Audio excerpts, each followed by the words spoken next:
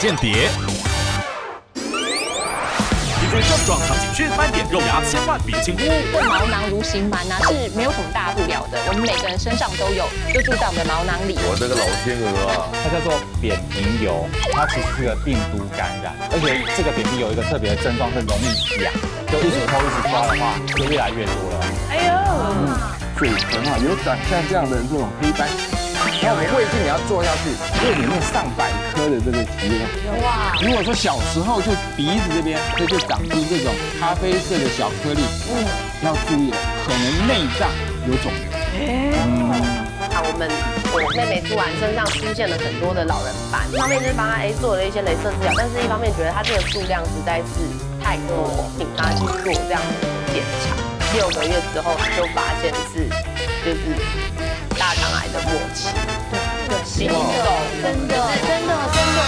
首先欢迎今天与我们讨论皮肤外显问题的金牌联合医师团，以及四位陪诊团。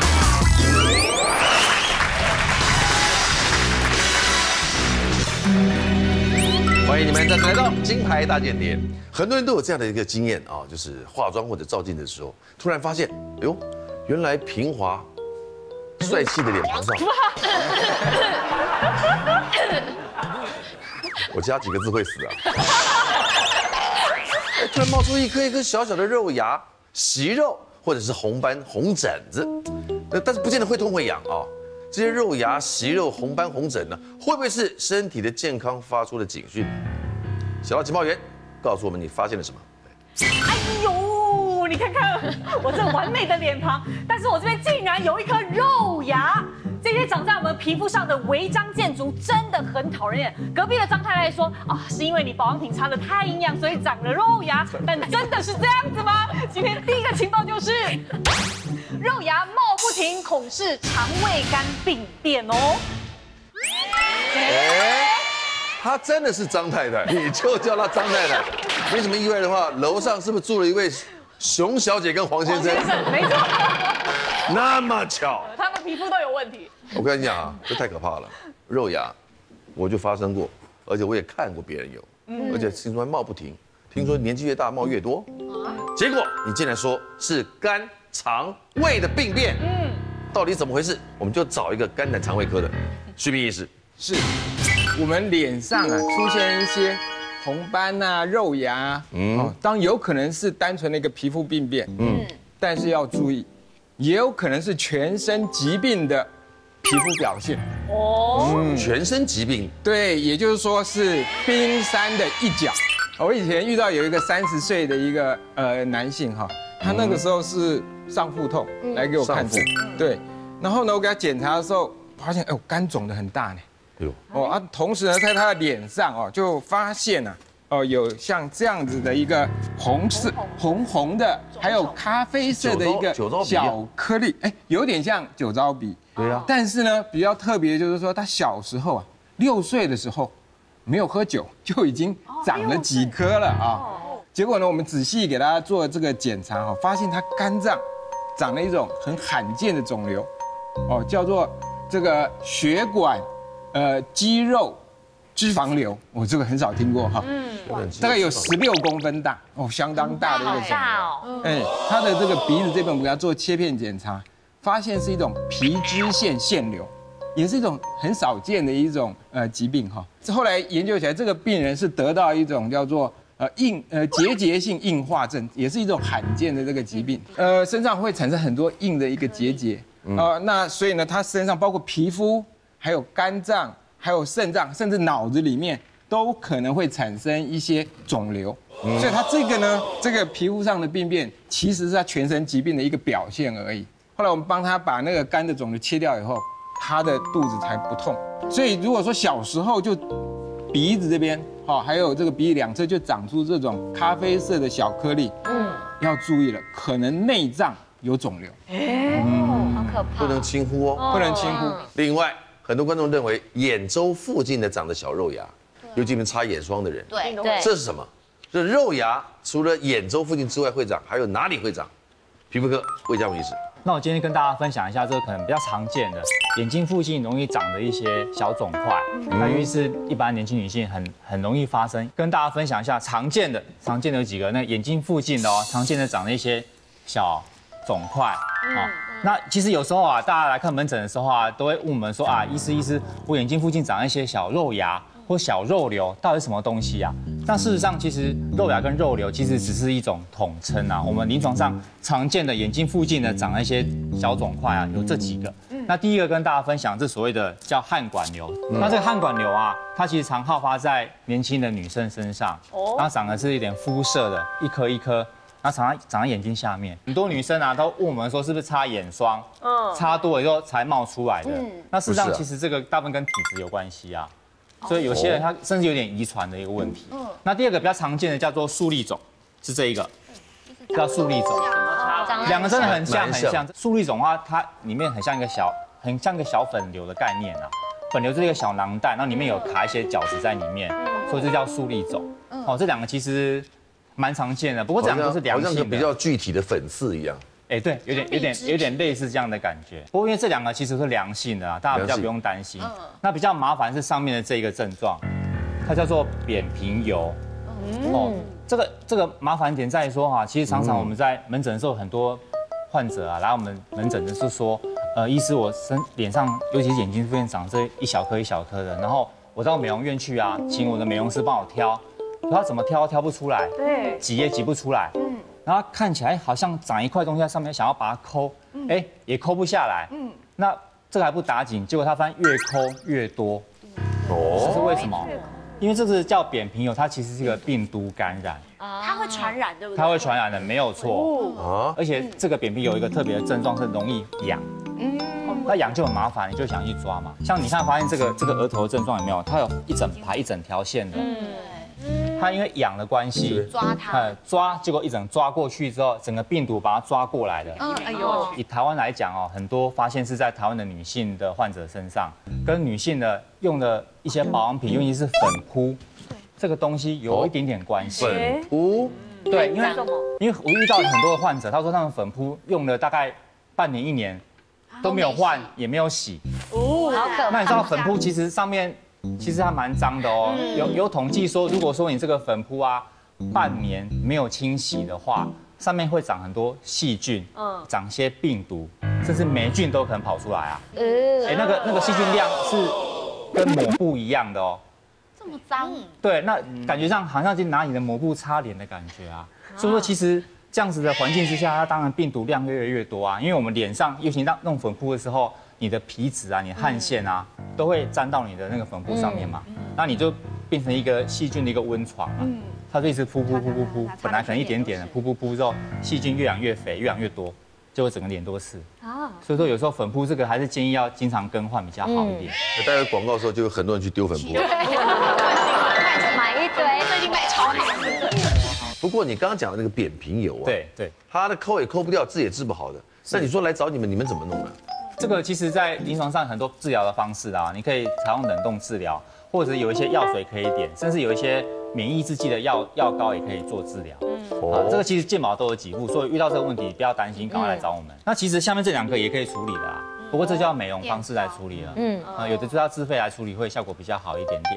对，像我们有个朋友，他就是长的这种扁平疣，他看起来就跟一般的痘痘粉刺一样啊，就自己抠，本来这本来这里只有一两颗，他就抠一抠，擦一擦。后来整个脖子都是哎，后来去找了医生，那时候算一算，一百多颗，一百多，对，它一扩散就全部都是。医药医药新闻这么久，有采访过一些皮肤长瘤的或者没有？我自己就会长，像那种 那个这种肉芽呀，也是啊。你也有啊？对啊，那我们也是要定期去保养啊，定期去给人家挑啊。我觉得这个应该是像助力肿。然后我们那时候就一直问医生，就说是不是都怪说啊擦的太营养了，所以长了。你一定怀疑过这一点。对，然后后来我就问医生说，那不擦了是不是会不长？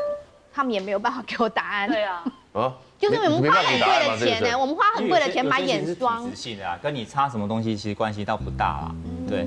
再再多一个，你自己是女生，皮肤科。营养的一些一天到有人敷脸的，然后擦一些所谓面霜、晚霜，对不对？日霜有的没的，对不对？它难道不会因为这样的长堵塞毛孔而长出一些什么东西？就是如果说擦太营养或太滋润，可能少数或是说呃 BB 霜啊、滴滴霜这些，就是比较浓稠的一些粉底这些，嗯有可能会阻塞毛孔，长出一些粉刺，这些有可能。嗯但是像那个魏医师刚刚分享的一些，像汗管瘤啊这些，很多是体质性的，真的跟他的关系做的保养没有没有太大的关联可性。是可是我之前有长过哎。来，因为我我自己是我那时候是我姐姐就是介绍我一罐眼霜，那我就想说那我就擦，就我擦了之后，因为我本来眼睛是平的，就长出很多那个小小一粒一粒，然后我以为是粉刺，然后我就去挤它也挤不出来，然后我后来是去皮肤科，就是用那个冷冻治疗把它弄掉。哦，那可是我后来停用眼霜之后就没有再长了，所以应该不是体质问题吧？哎呦，可能我是你。现在的意思是把他打枪就对了。没有，因为他刚刚有说有一些是体质啊，有一些是擦碳营养。那因为我应该是擦碳营养，因为我那时候连脖子都有长，就是长那种一粒一粒的。哦然后但是脖子的是挤得出来，那眼睛我觉得它可能是我吃力点不对，或是怎么样的，那你脖子挤出了什么东西？就是眼就那种白白的小粉刺，我都会去给那个就是那种皮肤就像痘痘粉刺那种。对，就是做脸的阿姨挤，可是因为眼睛这边她不敢帮你挤，然后后来就发现好像是那个眼眼霜，因为我把眼霜拿来擦颈纹跟脖子这边，那那个年纪因为是我姐姐介绍我的，可能适合她，不适合我。哦。然后后来眼睛这边本来我停用了之后有消了一些，可是有一颗它好像就是过度营养，然后就长在里面。以前早期在二十年前那时候刚出来那种乳化剂卸妆油对，哦，那个也会一个就是油嘛，很油嘛，过油油油油，然后呢洗掉，对不对？当然水跟它乳化效果出来以后，整个白白的那个跟跟勾芡一样，对。对不对？然后就用水啪啪啪就清掉，哎，有意思哎，就是哎这样卸妆还蛮有意思的，嗯，三天。痘痘冒全脸。太 太油了。太油了，不适合我就不适合，人家称赞的要死，哇，多好用多好用，我说对啊。用三天，整个脸长了二十几个痘子，嗯。哇嘞，气死我了。太油了。皮肤是人体最大的排毒器官，排毒哦，嗯，哦，也是跟外界接触最大面积的器官，所以皮肤的任何状况不能等闲视之。你们即将听到一个非常骇人的消息，来，吴经理史，嗯，就陈哥说的没有错，就是除了从刚刚魏医师讲的啊，我们脸上可能会注一些病毒盖的违章建筑之外啊，我们的皮肤里面也可能会注一些，就是显微镜下面可以看到的这蠕虫种所谓的蠕虫，或是我们叫做就是毛囊蠕形螨，或是一般民众可能叫做毛囊虫。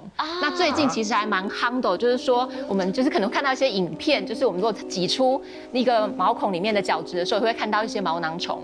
然后事实上啊，我们在皮肤里面呢，如果我们做一个简单的一个皮肤表层切片检查，这表层切片检查怎么做呢？就是拿三秒胶去粘一下你皮肤，嗯哎是真的、哦，是三秒胶粘一下就可以，可能会看到这样的情况，就有一些。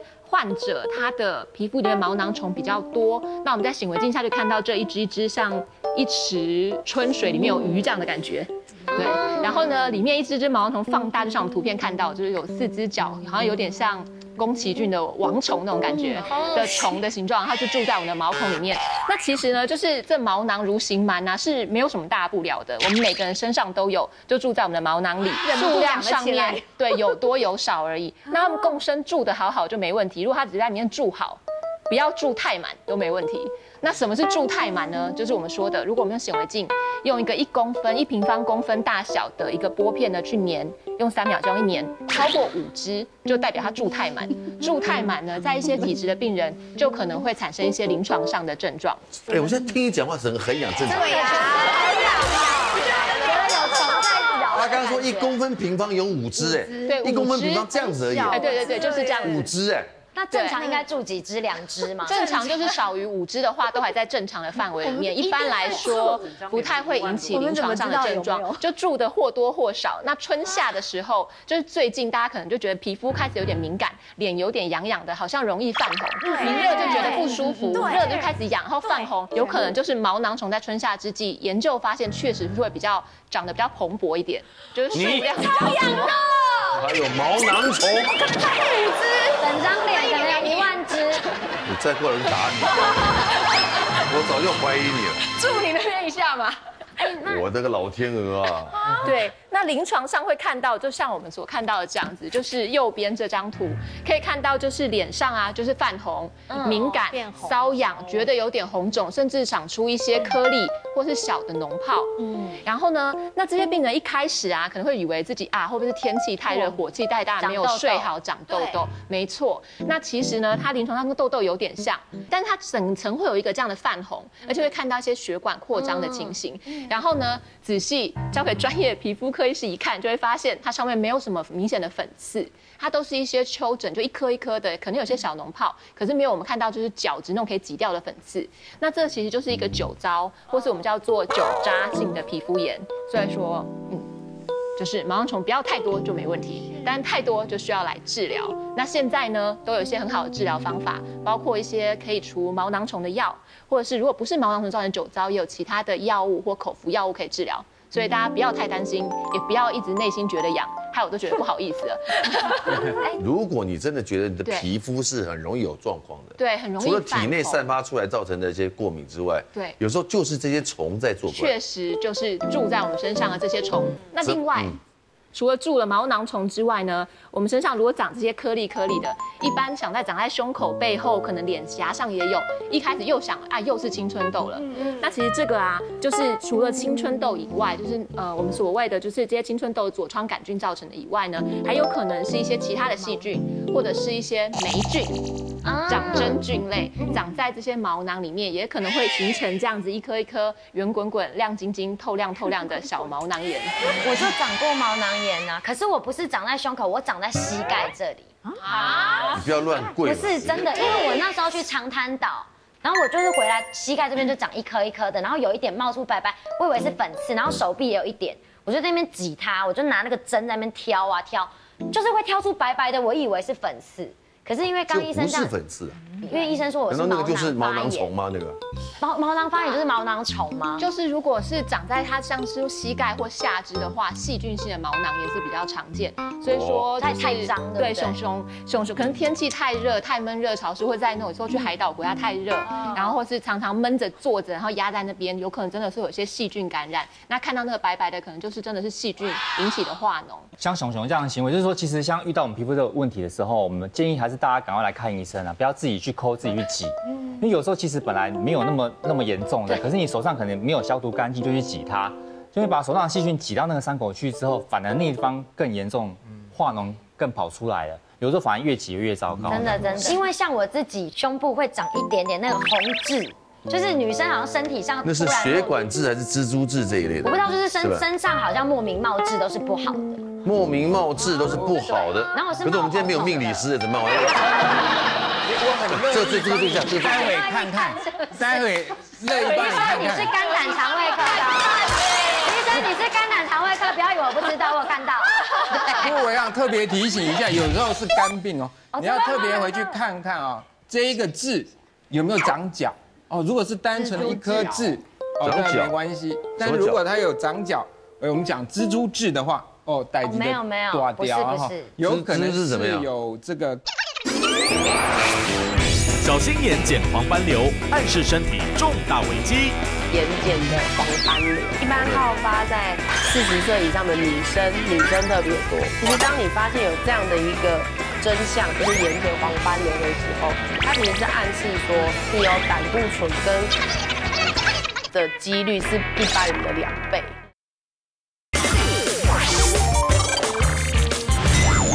金牌大间谍，你讲蜘蛛痣的话，哦，带没有没有不是不是，有可能蜘蛛是怎么样？有这个肝硬化。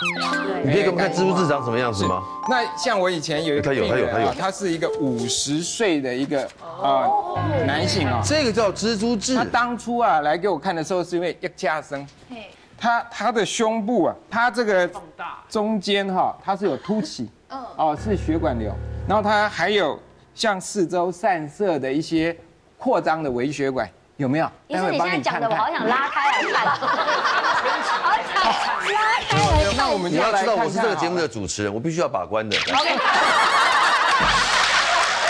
这边还有那么多医生，那如果说是有这样长角，我们叫做蜘蛛痣。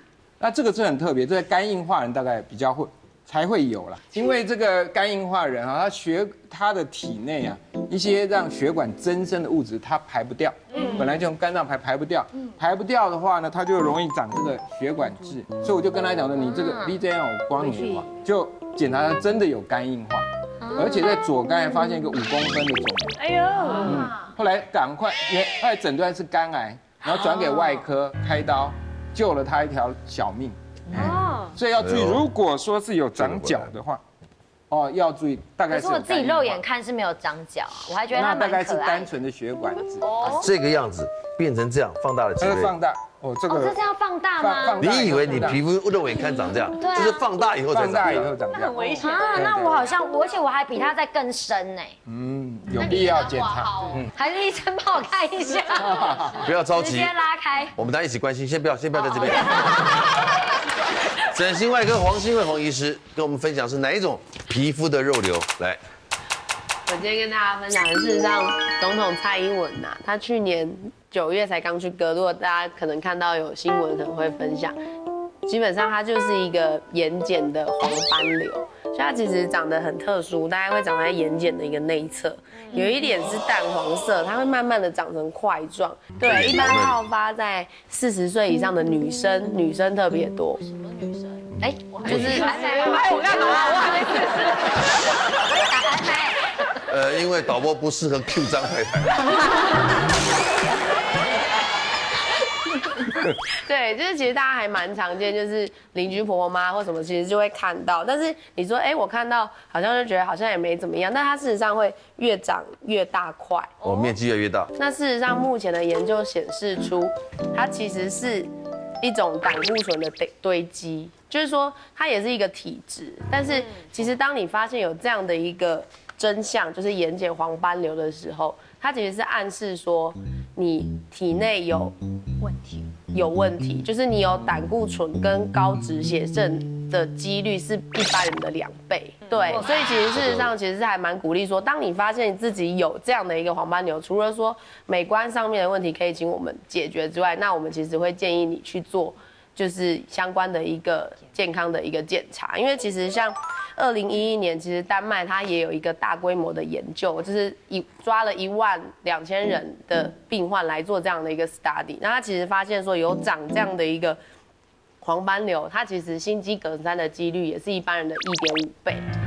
就是缺血性的一个心脏病，也是一般人的一点四倍，甚至连死亡率都是一般人的一点二倍。就是大家如果有这样的瘤的话，也可以去抽一下自己的血液，看一下一下这些健康的数值。非常好的提醒。讲到这个，我刚做来了一个健康的检查，哦，真的啊，脂肪肝中重度，然后我发现哎，你看起来那么中，重度，中重你，对对对，我觉得我快死了，因为我身上也长了一些奇怪的斑点，是肉芽吗？还是什么？不不是黄，是红色的。以前没有的，后来越来越多，有一个、两个、三个哦，而且都都在手臂上哎，哦你。这个就是我胸部长的啊，我胸是这样吗部就长这？然后，近距离看哦，对，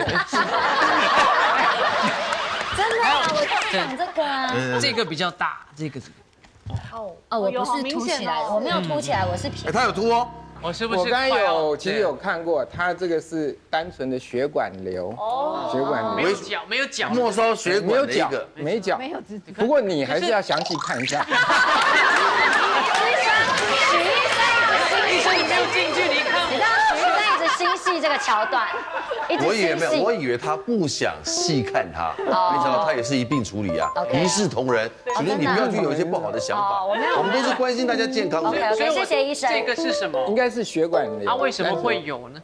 这个有时候是体质的问题哦，是良性的吗，良性的哦，那就还好，就不用理他。不过暗示可能你未来会大红大紫。真的吗？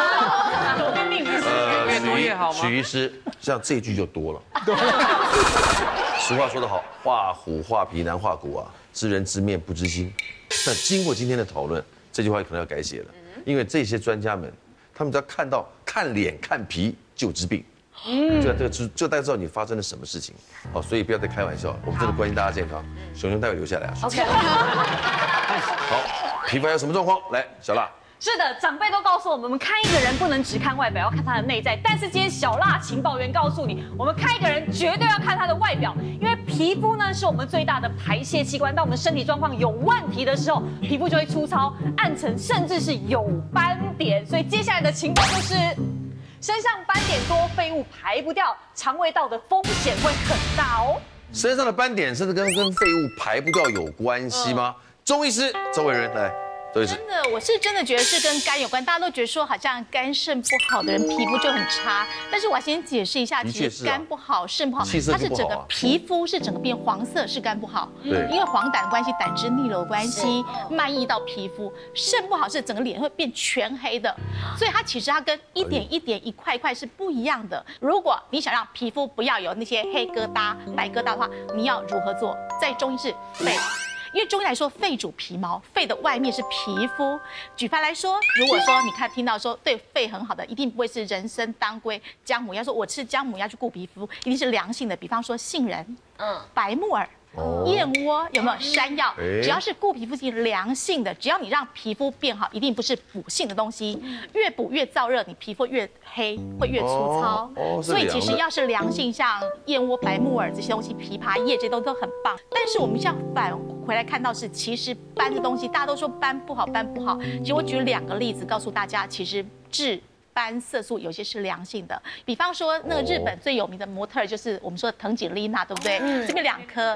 比方说杨丞琳，对不对？只要是女神，一定是有些。杨丞琳是对，其实你知道吗？对，就是一你定刚才有在顺便说自己，呃，就是有痣对，有痣的话，只要它不要是流脓、生汤、流血，颜色有比方三到五公分的变化，流脓生它汤流血。有啊，有些是癌细胞的前兆啊，对不对？是有的。如果你是良性百分之九十痣，其实痣本身它对皮肤的一个美女神女神的象征。第二是，其实欧洲还有英国、美国做了一个差不多有十五年的一个实验，发现说，其实人的身体里面有一百颗以上的痣的，其他的一个年轻化皮肤的漂亮度其实多于身体二十五颗以下的痣。为什么呢？其实我们的 DNA 里面有一个叫做一个我们的重复序列，有一个叫端粒体。如果说你端粒体越长越越长寿，偏偏有痣多的人，其实端粒体是 提供给大家做参考的。下肢莫名帽子斑，孩童健康隐忧大。五岁的女孩子哈，下肢出现紫色的斑点，还有，出这血点个太严重了。常常发生在感冒过后大概左右，那好发的年龄还是十岁以下的小朋友。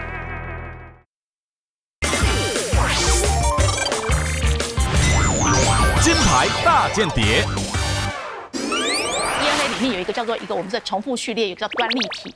如果说你端粒体越长越越长寿，偏偏有痣多的人，其实端粒体是越长的。提供给大家做参考的。哦，但是还是有一些是危险性的。我现在夏天到了，其实我告诉大家有个叫做，如果你的家里的小朋友如果并不是一个一个呃遗传有问题，他在青春期之后发现他的脖子后面有些黑色棘皮的一个，他好像都怎么洗都洗不干净，擦都擦不干净。像我一个小朋友，她一个女生，她第一个是她在青春期月经来之后，她脖子后面她还被霸凌，因为脖子后面非常的粗黑，洗都洗不干净，然后她的月经永远都是不顺不来，而且她的肥胖多毛痘痘就很多，甚至其实她的异味比较重。其实我们有一部分发现说，其实黑色棘皮症跟我们目前的结那个胰岛素拮抗，还有对多囊性卵巢、月经不调和一个体重的一个暴肥没有办法降下来，是有相对的关系。所以一些小朋友的话是有一个麻烦地方，是你可以回去看他脖子后面有一个，比方说像是角质增生，或者像母纤维母细胞增生的黑黑粗粗的，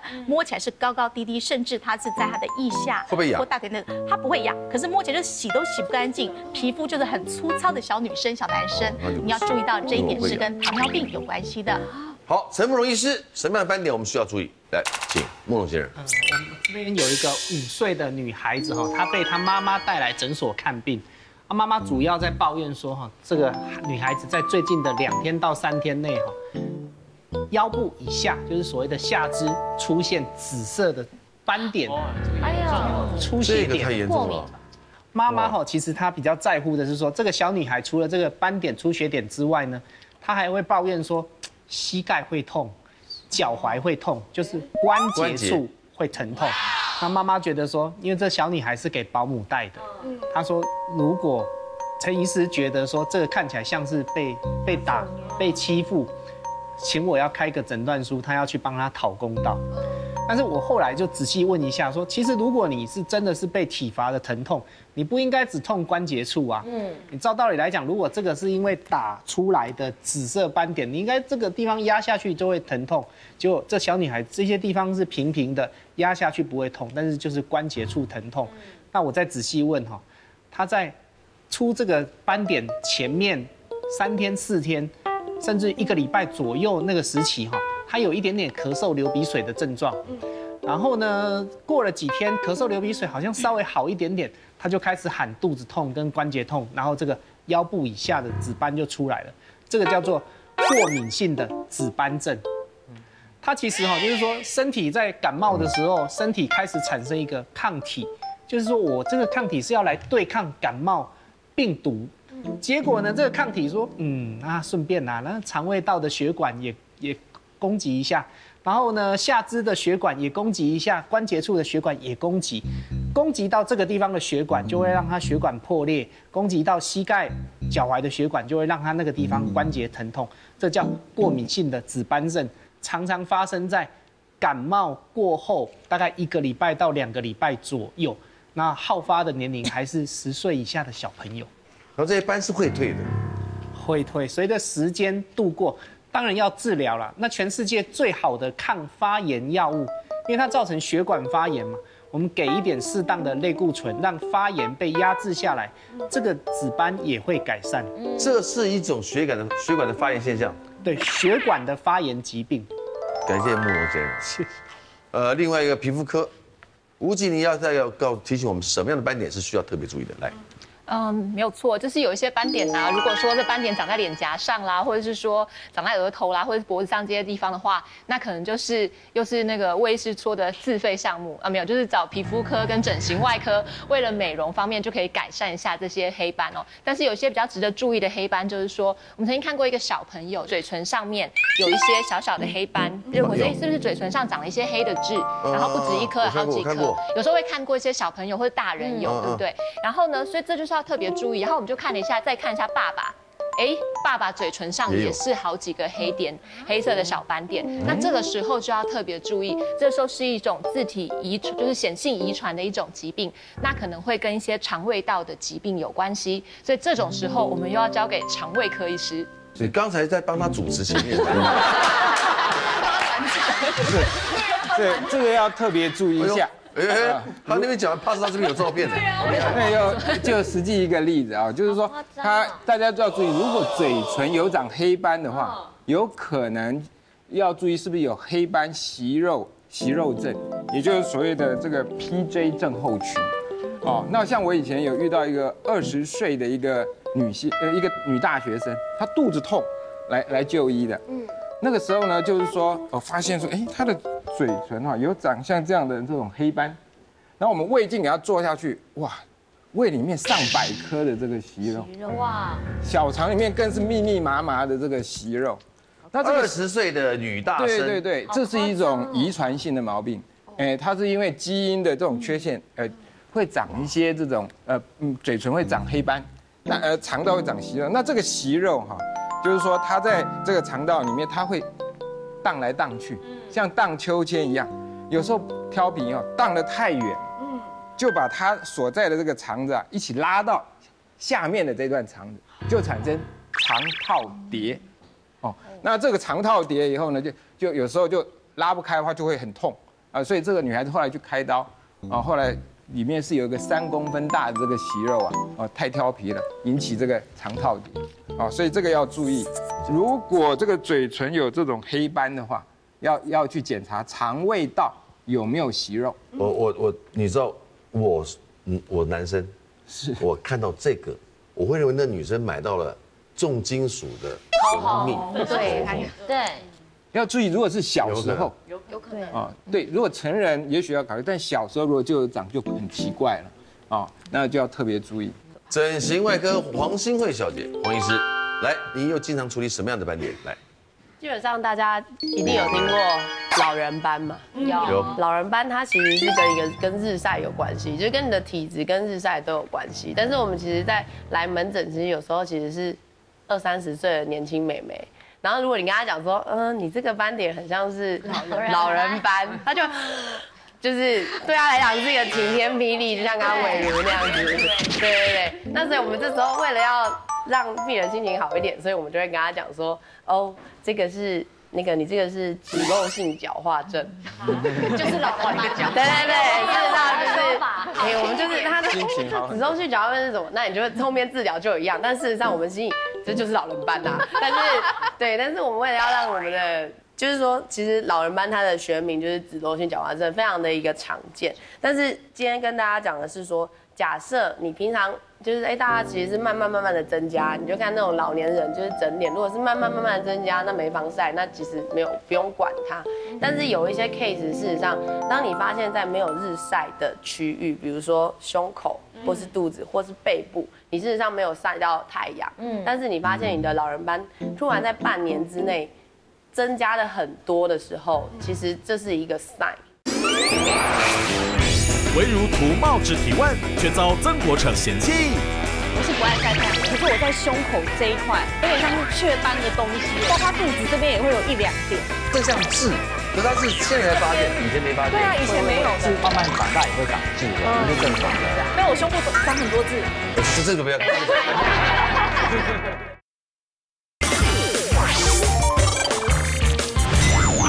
金牌大间谍，发现你的老人班突然在半年之内增加了很多的时候，其实这是一个 sign。基本上这是一个，就是比较罕见，但是事实上我们是会遇到的一个 sign 哈，这叫 lesser tree less sign，就是说，当你发现说你的背部整片突然密密麻麻的长出老人斑，但仔细看这种老人斑跟一般的老人斑又不太一样，它会呈现说比较。陷在你的皮肤，因为我们看到平常的老人斑其实有一点突突，有一点浮起来浮起来那种感觉，但是这一种的老人斑，它事实上比较沉进去。其实老人斑是会凸出来，有些浅，有些凸。但事实上，如果是 laser trailer，它这样子，它就会比一般的老人斑还要再更深层。它基本上是告诉我们说，你身上很有可能有肿瘤，而且是肠胃道的肿瘤，特别是腺瘤。因为像我们自己就是在诊所，事实上就是有遇到这样的一个 case，就是说买课程的是姐姐，那她基本上她有一天就带她妹妹来说，哎。就是伊莎，我们我妹妹突然身上出现了很多的老人斑，那你帮她看一下。我们一方面就是帮她哎做了一些镭射治疗，但是一方面觉得她这个数量实在是太多了，对，然后就觉得怪怪的，而且她就是长得跟一般老人斑不太一样，所以我们就是请她去做这样的一个检查。六个月之后，她的姐姐就回来，然后就一直哭，一直哭，她就说意思就是她妹妹去一做检查，就发现是就是大肠癌的末期。对对，已经走了，真的就是真的真的，他就是就是已经是就是说，其实他最后到其实到真的你真的皮肤整个出来，不管是说哎中医或许毒素的一个累积或什么，它其实已经是最后了。其实我觉得像大肠癌，有时候像这种年轻型的大肠癌，有时候是一个又有一点家族遗传的意味，不见得跟你的饮食或什么之类的有关系。其实有时候你当你身上发现一些你觉得没有办法解释的。病变的时候就请来找我们，因为其实有时候真的是没错，是严重的。嗯，对啊，斑点，我们今天现场的四位陪诊团，嗯，斑点会很有 feel 的人举手，我是有长那都有啊都有啊。对啊，呃，那黄金仁先来，刚刚讲了红斑嘛，还有一些晒斑，我我有去镭射弄掉。嗯。嗯，而且刚刚讲到老人痣，其实我爸爸那一边全部都有，所以我是应该是高危险危险群，我可能以后就你现在身上有长吗？暂时还还没有，对对对对。暂时还没有，我可能长就来不及，不能在这边讲话了了。对 对，只要一长，我一定会去找你。难讲哦，你刚刚刚你发现的晚呢。但是都我发现都是我都长在脸上，而且是突出的那种老人斑比较多，所嗯以这这种要怎么提防？还是因为是基因突变没得救，就让它长，是不是？你平常有防晒吗？呃，比较少。啊对就是所以这样子对我们来讲我们男生还是没有在防晒的。男生对对对，就是如果你有这样的体质，因为其实你其实回去看一下爸爸妈妈之类的，其实这些不管是痣或者是斑，事实上会遗传。听起来是普通的老人斑啊，因为基本上我觉得我们今天提出这些案例，有一些是比较罕见的，或者说提醒你一些 sign。那基本上就是大部分如果是常见的就还好，听起来就是静伦兄的应该是普通的老人斑。补充一下，就是说其实斑点有各式各样的斑点没有错啦，只是说大家不要太不用真的不用太担心啦。像刚才提到那个红色的红色痣嘛，其实我们说我们临床上他会说它是是个呃叫做呃智慧痣，其实因为年纪大了才长出那一颗一颗，像刚才黄静文身上这么好听，这么好听。对啊，叫智慧痣因为真的 很小很小的话，真的是比较不会长，大部分都是有一定年纪之后慢慢长出来。有些老人家常常会来问我们身上说，哎，医生我们身上长很多颗哦，我们都跟他们安慰说这是叫智慧痣，那有智慧的人才会有，所以千万不要担心。哇，智慧医生好会说，我觉得他安慰的挺好的。真的。伟如你的状况，我自己皮肤的脸上的部分，我其实很注重防晒，但是我有发现，我最近这几年，因为我大家我不是不爱晒太阳的，可是我在胸口这一块，就是在真的，我是说真的，在胸口这周围开始有长得有点像是雀斑的东西，哎，就这样子一点一点在这。可是我平常是不穿比基尼也不露胸部的啊，我真的我有点吓人。我们等下私下一起去医生看。而且这是在生完小孩之后变得更明显哎，就是生完小孩之后好像整个体质都改变了。然后包括肚子这边也会有一两点的那个斑点，我你们想看我肚子可以看，肚子可以看，可以看，就给大家看，嗯，就是肚子这里啊，这个这个有会凸起吗？没有啊，平的，你摸有没有角？是平的，但是整个就是胸口这边就有点类似像这样，然后比较浅一点点，这这像痣。如果是它就像有可能是痣啊，它它就是痣，那有可能可是可是它是现在才发现，以前没发现。对啊，以前没有的。痣痣不一定是小时候，慢慢长大也会长痣的，那是正常的。这样子啊，可是这里面有晒到太阳啊。对啊，我这边看胸口也有。对，我这边也这边。痣不见得都跟太阳有关吧？不一定，不一定跟太阳。这跟太阳没有关系啊。所以我胸部都长很多痣。呃，这 这个不要。等一下，等一下，我们可以跟徐师傅会诊。好了，等下我们再来会诊啊，因为我也我也蛮有兴趣了解的。来，熊熊你呢？我自己是因为我很常出外景，那但是其实我都还是已经有防晒，但是因为可能太阳太大了，所以我常常会长一些晒斑，就是想想说一长我就去打那个镭射，可是因为你镭射一打完，我有一次就打完之后我又在出外景了，就更黑，就反黑，我就吓到，然后才发现说，哦，你打完镭射有一段时间你是必须要。就是隔绝紫外线的，所以我之后都决定，就是可能冬天的时候或者是快过年的时候打，因为你才会有修复的时间。对对，女生就是怕这种东西。对，我刚刚很怕医生讲好了，暗沉啊，斑点啊。对，我刚刚很怕医生说塞班是老人班，好险不是。对。哦，塞班的地方其实蛮好玩的。哦，对对对，塞班。这样也可以。来，翠芬姐，你呢？斑点倒会有啊，可是我觉得加强防晒就就就是可以一般日常防护嘛。可是我觉得要提醒的是，很多老人家，像我们的长，我有个朋友的长辈哦，呃，长辈通常他不不爱漂亮嘛，他们对身上的斑点都不在乎，他觉得干嘛去弄啊这样子。可是我觉得不能轻忽，我的长辈他的那个他的长辈就是眼睛上面就长了黄褐色的一整片，蛮大的一片，然后他又戴着眼镜，他觉得没关系，后来就叫他去检查，才发现，哎，他竟然身体里面有。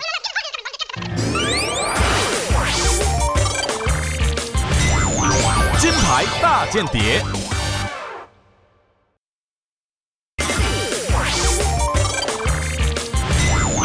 金牌大间谍。他觉得没关系，后来就叫他去检查，才发现，哎，他竟然身体里面有肝癌。然后我不晓得这个是不是有相对应的关系。这有对呃，你说你不知道有没有对应关系？对，可是我觉得身上一直长了一些奇奇怪怪的斑点的时候，你宁可再多去进一步去检查、去了解，为人子女的要替他们注意一下。嗯，基本上我们今天呢处理的就是这些问题，好不好？呃，我们请谁来为我们做个来？中医生好了，来。呃，因为现在医美整形镭射乍看起来非常发达，但是其实我们在中医的理论来说，还是要内打斑外攻击。所以其实内在来说，其实一两千年来，其实伤寒杂病论已经告诉我们，有一个偏方和秘方和现在已经实验起来非常好用，就是一个一个醋蛋的一个治法，是非常对于在一两个礼拜内你可以散发出光泽的。我举个例子给大家听，就是说它其实很简单，就是用一百八十 CC 左右的米醋，不管是日本米醋也好，台湾米醋也好，你把一颗蛋就随便拉拉打进去之后。你把它分三天吃，每次拿出三到四汤匙来，你用热水冲下去之后，早上烘饮。服用就可以了，也要选那个洗选蛋，比较干净的蛋。因为在其实有一句话，其实不知道大家有没有听过，其实花有重开始，对，人无再少年。你什么都是要知道，说老化是什么呢？你从出生一开始接触到空气和紫外线开始，你就开始皮肤就老化了。所以其实，在一个老化过程中，你必须要去。搭配到食物，还有外在的保养。那食物方面，你不要忘记，世界卫生组织已经说了，其实，在猪、羊、牛、红肉，它已经列为二 A 级的致癌物。所以，其实，在猪、羊、牛肉，你要尽量少摄取。你可以把鸡肉、鱼肉提高大量的话，会对皮肤的修复是比较好的。看完今天节目呢，关心皮肤的健康，不只要在对外在的美观的要求，同时应该更多的是对于健康的关注啊！我相信大家开始要注意一下自己的息肉、红疹、红斑。感谢你们今天收看，别忘了每个礼拜六、礼拜五晚上九点到十点，中间重不带，请收看金牌大姐姐，祝各位健康，晚安，拜拜，谢谢。